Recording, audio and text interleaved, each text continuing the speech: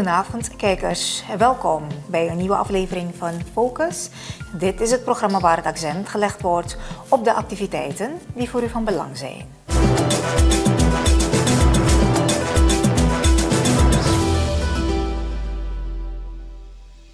Stichting Rumas wenst strategische programma's voor jeugdontwikkelingsbeleid.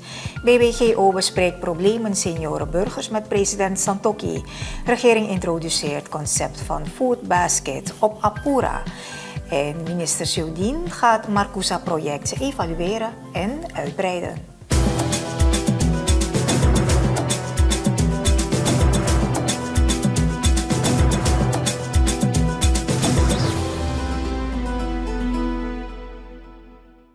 In de visie van de Stichting Rijk uit naar meer, oftewel Stichting RUMAS, is het ontwikkelen van strategische programma's belangrijk voor het jeugdontwikkelingsbeleid. De organisatie is bereid de regering hierin bij te staan. Stichting RUMAS heeft op weg naar nationale dialoog op maandag 13 maart een voorgesprek met president Chandrika Persat Santokhi gevoerd. Het staatshoofd erkent de organisatie vanwege haar programma's als een autoriteit in de Surinaamse samenleving.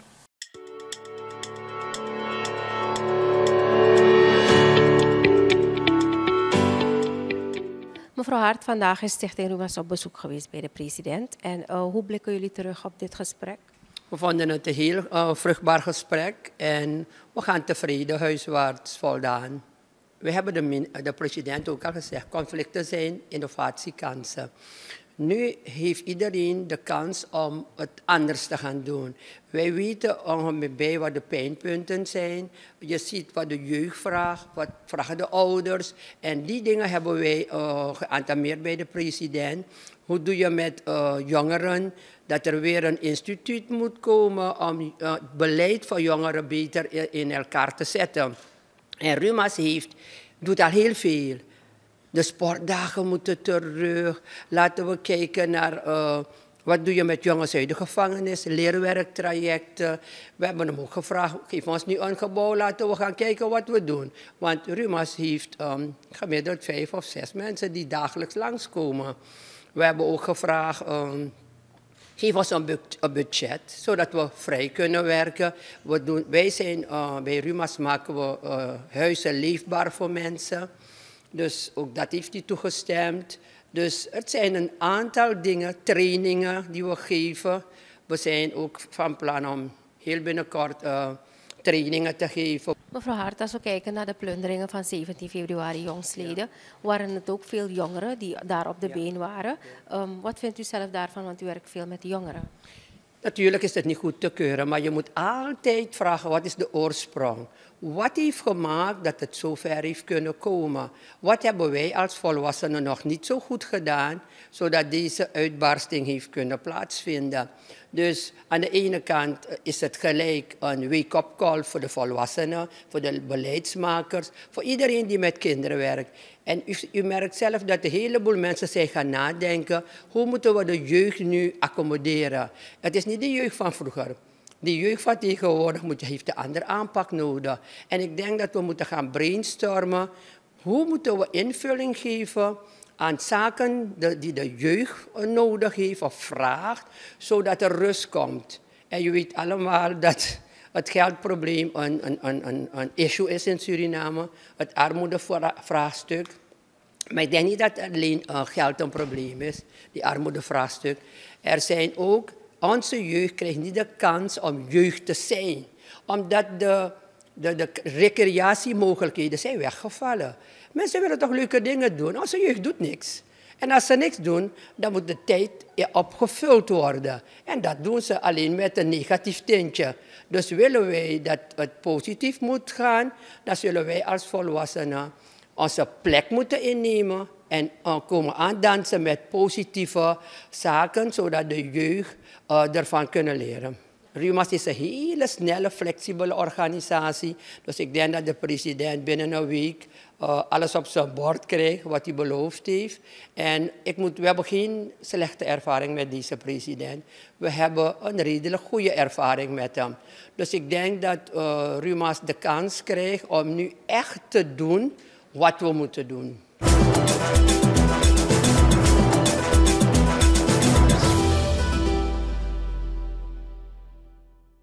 Na de stichting RUMAS maakt het bestuur van de Bond voor Belangbehartiging gepensioneerden uit overheidsdienst BBGO haar opwachting bij de president. Er is onder meer aangegeven dat seniorenburgers in Suriname kampen met problemen die een dreiging vormen voor hun veiligheid en gezondheid. De BBGO heeft tegenover het staatshoofd haar wens om een apart directoraat voor het uitvoeren van het beleid naar seniorenburgers uitgesproken. Nou, we hebben een heel vluchtbaar gesprek gehad met de president. Wij heb, ik tenminste heb de indruk dat hij goed naar ons geluisterd heeft. En uh, de punten die wij aangehaald hebben, dat hij die zal oppakken. En um, ja, we hebben gesproken over de situatie van de seniorenburgers. In het bijzonder de, de gezondheidssituatie van de seniorenburgers, omdat die het heel moeilijk hebben. Ze ja, moeten soms hun medicijnen betalen of ze kunnen bepaalde dingen helemaal niet vinden. En um, het is echt een heel vervelende situatie. Want misschien moet ik een voorbeeldje aanhalen. De mensen moeten soms betalen voor de medicijnen. En wat ze dan doen, is als ze om de ene dag misschien een medicijn nemen om het eigenlijk een beetje uit te rekken, te, te rekken een beetje langer te, laat, me het zo zeggen, dat ze niet elke maand hoeven te gaan kopen. Of ze gebruiken, als ze twee, moet, twee moeten gebruiken, gebruiken ze maar één per dag. Ze zitten met de, de hulpmiddelen die ze allemaal moeten gebruiken. Want ja, als je ouder wordt, de jongere mensen, gelukkig niet, maar de oudere mensen moeten vaak hulpmiddelen hebben, krukken en al dat soort dingen. Dus dat hebben, we hebben wel zijn aandacht gevraagd voor dat soort zaken. Ik, dat, ja, ik weet niet welke instantie, maar dat dat wel opgepakt wordt. We hebben um, ook aandacht gevraagd voor het pensioenfonds. Um, waarvan wij vinden dat de BBGO, die uit 4500 leden bestaat, en eigenlijk niet alleen die leden, de, de belangen van die leden behartigt, maar ook van al de, de 20 of 30.000 uh, gepensioneerden. En wij vinden van dat wij dan wel in de Raad van Toezicht van het Pensioenfonds moeten zitten. Omdat daar eigenlijk uh, bepaalde zaken besproken worden. En als je er niet bij bent, heb je eigenlijk ook geen inbreng. Dus we hebben dat gevraagd aan de president. We hebben gesproken over de herziening van het uh, de pensioenwet. Dat ding is heel oud en er zijn een heleboel dingen erin die echt eruit moeten. En er is een commissie geweest die een paar jaar gewerkt heeft aan die nieuwe pensioenwet. En het is ook ingediend bij de minister van Binnenlandse Zaken, bijna twee jaar. Maar er wordt gewoon niets mee gedaan. En uh, daar hebben we ook de aandacht voor gevraagd. Dat hij dan vraagt waar blijft het liggen en, uh, dat het opgepakt wordt. Dat is heel belangrijk voor ons. En dan hebben we een, is een OAS-document. En dat OAS-document dat gaat over de, de seniorenburgers, de rechten van de seniorenburgers en eigenlijk de plichten van de overheid naar de seniorenburgers toe. En um, uh, het OAS-document is geratificeerd door de president op 26 april 2021, maar het is nooit doorgestuurd naar de OAS. Als het niet bij de depositalen komt van de OAS, zijn wij geen partij. Dus wij dachten al die tijd zo, oké, nou is het geratificeerd door de president, we hebben het laten vertalen in het Nederlands, alleen om het ja, toegankelijk te maken voor onze mensen in het Nederlands, hebben dat gedaan. En dan krijgen we op een gegeven moment te horen dat ding helemaal niet doorgestuurd is. Dat het nog hier in Suriname ligt. En de secretaris van de OAS zegt nee, ik heb hier niets van jullie. Dus jullie zijn geen partij. In. We kunnen dus geen aanspraak maken op niets wat daarin staat. We kunnen dus niets doen. Dus daar hebben we ook de aandacht voor gevraagd. De president ook de aandacht voor gevraagd. En dat zou hij dan ook oppakken en kijken hoe, wat hij daarmee kon doen.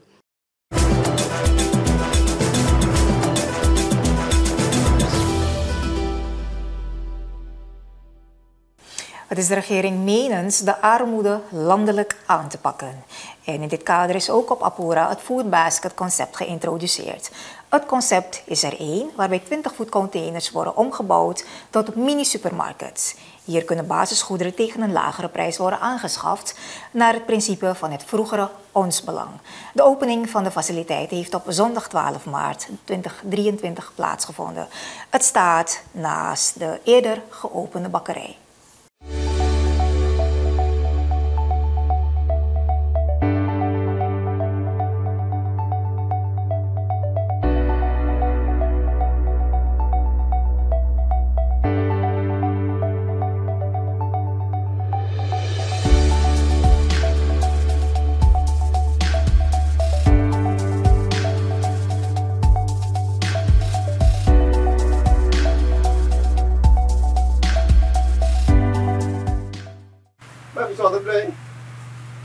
Jullie dit kunnen doen.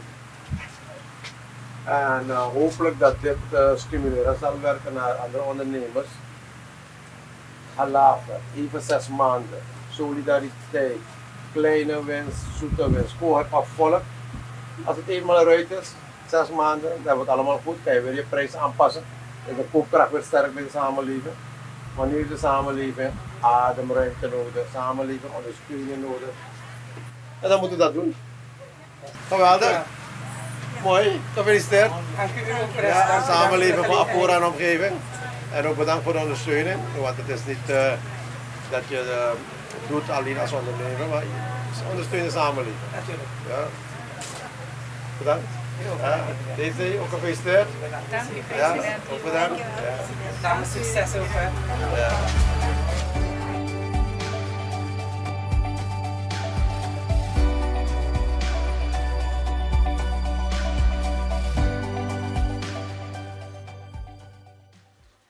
Food Basket is een concept welke we ongeveer twee jaar geleden hebben gelaunched. Ons eerste container Essential Food Store staat in Kommerwijnen op het Oudveerplein.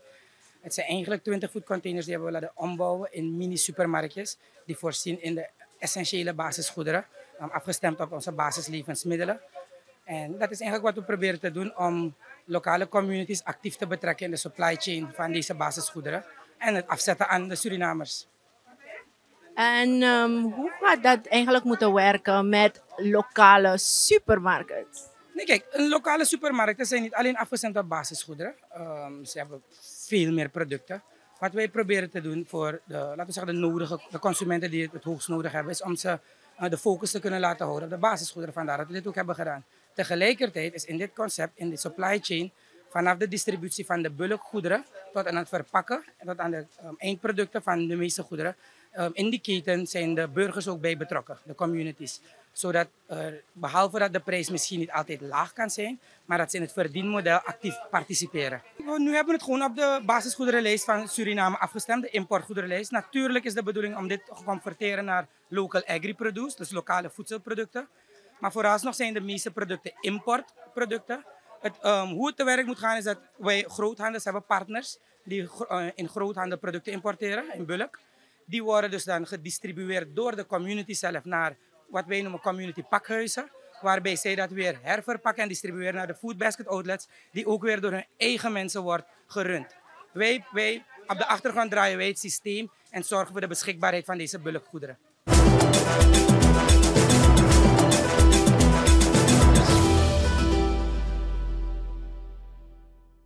Minister Parmanant Seudien van Landbouw, Veeteelt en Visserij, LVV, heeft op 12 maart de Marcousa-aanplanten op Apura bezocht. De bewindsman heeft de boeren die aan de commerciële teelt van dit gewas doen, door een vertegenwoordiger van het Nationaal Ontwikkelingsfonds voor Agribusiness laten informeren over de financieringsmogelijkheden. Het ministerie van LVV zal het Marcousa-project binnenkort evalueren en overgaan tot landelijke uitbreiding.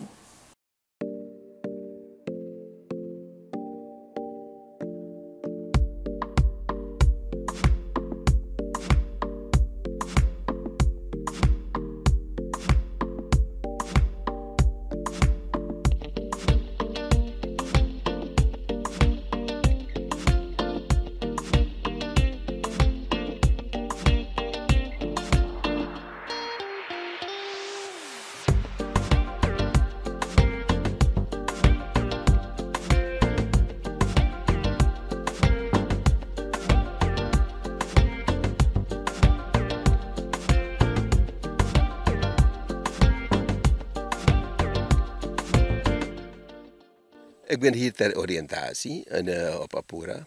Voor de verkiezingen hadden wij, toen was ik nog geen minister, had hier een project lopen. En, eh, om de fruitteelt hier te stimuleren. En we waren toen begonnen met de teelt van Marcousa. Dat er nu zo uitziet. En, ehm, nadat wij, en toen hadden wij 32 boeren hier gefaciliteerd. Elk met een duizend plantjes. Sorry, 100 plantjes. Om alvast kennis te maken met de teelt van Marcousa. Anderen die zijn ermee gestopt. En je hebt toch wel een aantal die ermee door zijn gegaan. En waar we nu zijn op het bedrijf van meneer Roets. eh, hij is een van de boeren die door is gegaan. Hij is verder gaan uitbreiden. Eh, op de achtergrond ziet hij dat er meerdere fruitsoorten zijn. En eh, dus hij heeft zijn bedrijf verder gediversifieerd. En het is leuk om te zien nu, uh, na 2,5 jaar ministerschap, van hoe deze meneer nog steeds doorgaat met, met zijn Marcusa. Vol motivatie. En hij geeft ook eerlijk toe dat hij een goede inkomsten daaraan overhoudt. En hij heeft plannen om door te gaan. Hij vraagt nu naar van hoe hij begeleid kan worden om, voor zijn uitbreiding, omdat hij hiernaast verderop ook nog een anderhalf hectare terrein heeft die hij ook wil beplanten. Ik ben hier gekomen en, uh, met een vertegenwoordiger van de Amanabank. En uh, zij het Nova Fonds voor ons beheren. En um, hij gaat straks ook een presentatie houden voor een groep boeren hier. Van wat de Amanabank kan betekenen voor hun, het Nova Fonds. Uh, wat, voor de, wat de spelregels zijn en hoe we met elkaar door zouden kunnen gaan. Voor mij is het belangrijk om alle stakeholders binnen zo'n waardeketen, om te beginnen bij LVV. Hoe ver is LVV nu? We hebben laatst nog een LVV-kantoor hier geopend. We hebben wat mensen in dienst genomen die nu deels getraind zijn, maar verder zwaar getraind moeten worden. Uh, van daaruit gaan we ook de nodige begeleiding geven aan de boeren. Begeleiding houdt in uh, niet alleen maar voorlichting en uh, beschikbaar stellen van planmateriaal, maar ook boeren die serieuze plannen hebben en commercieel willen gaan. En hoe wij daar een, middels Nova hun die financiële ondersteuning kunnen bieden. Dus wat de spelregels zijn, dat zullen ze later horen van de vertegenwoordiger van de Amanabank. We krijgen morgen hier, want ik ga pas morgen terug, de, een eh, CEO van het bedrijf welke alle fruit hier opkoopt, uh, de verder verwerkt en, en doorvermarkt. En uh, als er zaken zijn die nog met die persoon besproken moeten worden, dan doen we dat meteen. En natuurlijk, hoe staat het met, met transportzaken? Dus al die dingen wil ik bespreken met, met de boeren zelf. En, uh, maar kortom, echt leuk om te zien van hoe uh, deze meneer hier bezig is. En je ziet het ook aan uh, de grootte van zo'n vrucht. Dit is niet de Surinaamse variëteit, dit is de Braziliaanse variëteit. Het is een hybride, welke hier door een particulier en, was geïmporteerd in het begin. Deze plantjes komen van hem. Maar nu gaan we wat, wat, wat groter met het project. We gaan landelijk met het project. Dus het is ook goed om te te weten van voordat je groot, grootser gaat. Wat zijn de ervaringen uit het verleden? Dus die evalueren we nu ook. Fouten die gemaakt zijn, moeten we niet meer maken. Dus gaat die evaluatie uitwijzen.